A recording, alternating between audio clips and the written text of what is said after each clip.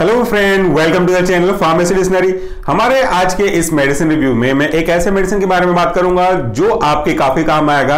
अगर आपके घर में छोटे बच्चे हैं या उनको क्रीमी की प्रॉब्लम है, वैसे ये प्रॉब्लम शायद आपके घर में बच्चों को होगी, तभी आप इस वीडियो को इस ड्रग के नाम से सर्च करते हुए यहाँ पे आए तो आज के वीडियो में मैं आपको दो चीज़ें बताऊँगा। एक तो अगर आप इस ड्रग का नाम सर्च करके आए हैं तो इसका काम क्या है, इसका यूज़ क्या है, वो आपको समझाऊँगा। साथ में एक अनऑफिशियल एक ऐसा टिप्स बताऊँगा जो कि आपके उस पर्टिकुलर प्रॉब्लम को आपके बच्चे से अलग करने में काफ़ी मदद करेगी। मेरा नाम पुष्पेंद्र पटेल है, एक registered pharmacist plus professional pharmacologist हूँ और एक पिता भी हूँ। तो इन चीज़ों को मैं समझता हूँ, इन प्रॉब्लम को जानता हूँ। अगर आपके घर में छोटे बच्चे हैं, लगभग लगभग तीन साल, साढ़े तीन साल के आसपास के तो वो अभी इतने मेच्योर इनफ नहीं हुए हैं कि वो चीज़ों को समझ सके कि किसको यूज़ करना है, किसको यूज़ नहीं करना है, किसको खाना है, किसको नहीं खाना किसको छूने के बाद हाथ धोना है। ये सारे नॉलेज उनके पास नहीं होते, हालाँकि आप उनका ध्यान रखते रहते हो।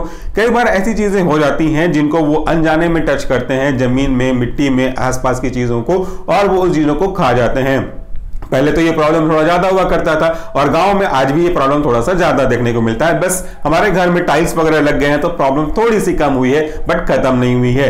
तो इनके कारण से वो जो सब्सटेंस वो अपने मुँह में लेते हैं, उसमें बेसिक चीज़ों तरीके से अगर देखा जाए तो कुछ लार्वा होते हैं। जो पैरासाइट्स होते हैं, उनके लार्वा होते हैं। जो एंथलमेंटिस कैटेगरी के ड्रग रखे गए हैं, जिसका एग्ज़ाम्पल आप देख रहे हो जेंटेल ये इसी को ठीक करने में मदद करता है। ना केवल यही प्रॉब्लम बल्कि आज के डेट में यह भी देखा गया है कि बच्चे चॉकलेट्स की डिमांड करते हैं। और अगर बहुत ज़्यादा मीठा खाते हैं तो उनको भी चुनना की प्रॉब्लम होती है। अब बहुतों को यह नहीं मालूम होगा लोकल लैंग्वेज चुनना की प्रॉब्लम क्या होती है तो मैं आपको चीज़ें एक्सप्लेन कर दूँ।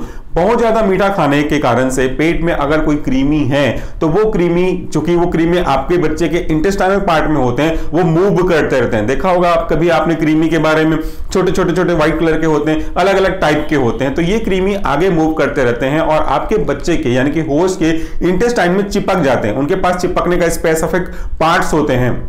उनकी एनाटॉमी ही ऐसी होती है कि वो चिपक जाते हैं। ऐसा मान के चलिए कि उनके सुई की नोक की तरह सब्सटेंस होते हैं, जिससे वो अटैच हो जाते हैं आपके इंटेस्टाइन से और जहाँ से चीज़ें एब्जॉर्ब होती हैं आपके बेनिफिट के लिए न्यूट्रिशन पॉइंट ऑफ़ व्यू से, उसी से न्यूट्रिशन वो अपने लिए लेने लगते हैं। इससे बच्चा कमज़ोर हो जाता है वीक हो जाता है लूज मोशन की प्रॉब्लम होती है और धीरे धीरे वज़न भी कम होने लगता है।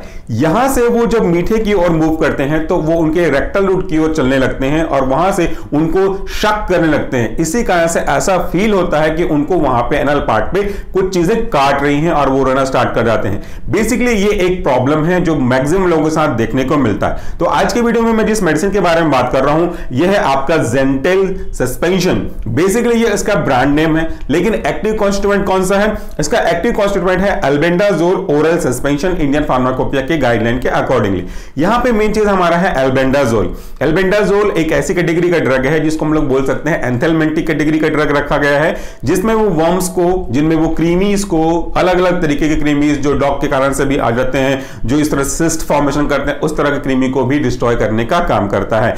इसका एक खास बात यह है, ये सिरप का, ये एक सिंगल डोज पैक है, और इसका जो कंटेंट है, वह है टेन एम मतलब इसके जो टेन एम के कंटेंट की शीशी है, इसको आपको एक ही बार में एक ही साथ देना चाहिए। लेकिन लेकिन, रुकिए यहाँ पे। यहाँ पे एक चीज़ विशेष ध्यान दें कि आपके बच्चे की उम्र कितनी है। अगर आपका बच्चा ढाई साल से कम का है तो उसे पूरा का पूरा दस एम का डोज ना दे, उसको कितना डोज सुटेबल करेगा, वो डिपेंड करता है आपके बच्चे के प्रोफ़ाइल के ऊपर। जैसे कि उनका बॉडी वेट और रिस्पॉन्स बॉडी मास क्या है उसके ऊपर डिपेंड करता है। तो एक बार आप उस केस में अपने बच्चे के लिए, अपने डॉक्टर की सलाह ज़रूर ले लें। बट अगर आपके बच्चे की एज ढाई साल से ऊपर है तो आप इसका सिंगल पैक यानी कि 10 एम का पैक दे सकते हैं और इससे उसको काफ़ी ज़्यादा राहत मिलेगी। और अगर वो ढाई साल से थोड़ा सा ऊपर लेकिन तीन साल से कम है तो आप उनको इसी के दो खुराक दे सकते हो आधा आधा करके। लगभग लगभग दस दिन का गेप रखा जा सकता है। बट मैं कहूँगा, आप अपने डॉक्टर से, अपने बच्चे के डॉक्टर से एक बार कंसल्ट ज़रूर करें। तो ये हो गई बात की एक्चुअली ये ड्रग क्या है, कैसे काम करता है, अब उसके बारे में हम सुन लेते हैं। एल्बेंडाजोल एक ऐसी कैटेगरी का ड्रग है, जो उस पर्टिकुलर वर्म्स के अंदर उन चीज़ों को डिस्ट्रॉय करने का काम करता है, जिन चीज़ों के ऊपर आपका वर्म सर्वाइव कर रहा होता है। बातों को समझिएगा सिंपल तरीके समझाना मेरा मकसद है। अगर मैं अपने रेस्पेक्ट में बात करूँ, आपकी या मेरी तो हमको कुछ चीज़ें ज़रूरी होती हैं जीवन जीने के लिए। खाना, पीना, पानी, हवा, ये सब हमको आवश्यक होता है। अगर कोई हमसे इन चीज़ों को छीन ले या इनकी अवेलेबिलिटी को कम कम कर दे तो हमारा सर्वाइवल पहले की तुलना में थोड़ा प्रॉब्लमेटिक आ जाएगा।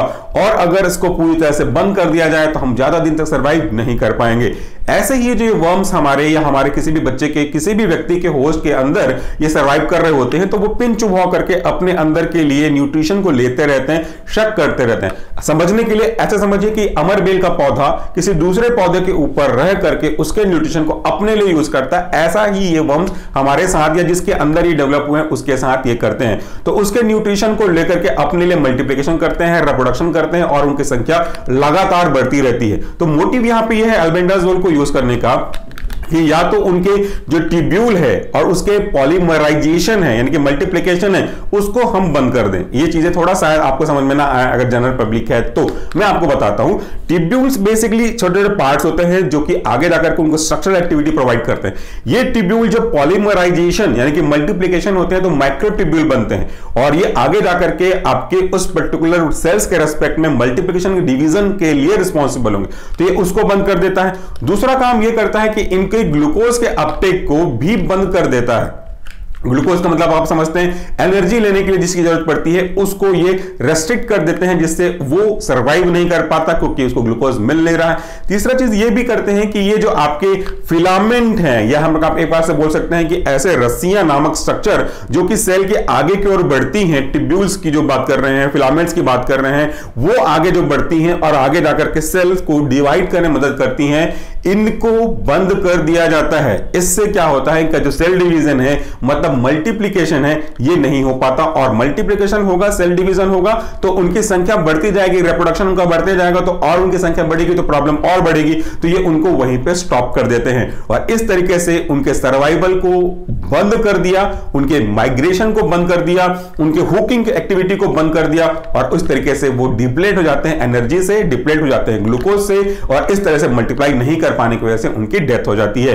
तो ये जो आपने दवाई देखा, या अगर आपने दे रहे तो अब आपको पता चल गया होगा कि ये काम कैसे करता है। अगर आप बहुत ज़्यादा इंटरेस्टेड हैं इनके बेसिस को समझने के लिए तो हमारा मेन चैनल है सोल्यूशन फार्मेसी वहाँ पे एंथेलमेटिक ड्रग करके अगर आप सर्च करेंगे तो आपको पूरी वीडियोस बहुत आसान भाषा में समझ में आ जाएगी। हालाँकि वो स्टूडेंट्स के लिए है बट आप आराम से समझ जाएँगे। और उस चैनल का जो लिंक है, वो आपको इसी वीडियो के डिस्क्रिप्शन बॉक्स में मिल जाएगा। जैसा मैंने स्टार्टिंग में कहा था, आपको मैं एक तरीका और बताऊँगा जो कि अनऑफिशियल तरीका है। जिसे घरेलू नुस्खा भी बोला जा सकता है। अगर आपके बच्चे के एनल पार्ट में कुछ चीज़ें काट रही हैं, वो बहुत ज़्यादा रो रहा है तो do nothing anything about it आपको सिर्फ़ एक चीज़ करना है, वो है नीम का ओरिजिनल तेल लेके आना है अडल्टेटेड नहीं हो, इसका विशेष ध्यान रखिएगा। ये आपको कहाँ से मिलेगा? आपको घर के आसपास कोई ना कोई बुज़ुर्ग होगा, उनके घर में वो अक्सर रखा करते हैं। तो उस नीम के तेल को एक छोटे से कॉटन के पफ में सोक करके रखिए और उनके एनल कैनाल पर रख दीजिए ओवरनाइट की बात कर देते हैं। थोड़ा सा ही रखिएगा और इससे उनकी जो प्रॉब्लम है, बहुत जल्दी रिकवर हो जाएगी। बट ये परमानेंट इलाज नहीं है, ये टेम्परेली सिम्टोमेटिक ट्रीटमेंट है। जब जब उनको प्रॉब्लम होगी, जब जब वो रोएँगे, तब भी थोड़ा मदद कर सकता है। लेकिन ये कोई स्पेसिफिक ट्रीटमेंट नहीं है एज आई सेड इसके लिए आप टेम्परली रात को ओवरकम करने के लिए यूज़ कर सकते हैं। देन आपको आपके बच्चों को एक बार डॉक्टर से कंसल्ट ज़रूर करना चाहिए। तो आज के वीडियो में मैंने आपको बताया एक ऐसे मेडिसिन के बारे में जो कि आपके घर में होना चाहिए। अगर आपके घर में बच्चे हैं और खास करके उनकी एज ढाई साल से ऊपर है तो आप इसको रिकमेंडेड डोज के accordingly as per your physician use कर सकते हैं। Thank you so much for this video नमस्कार टेक केयर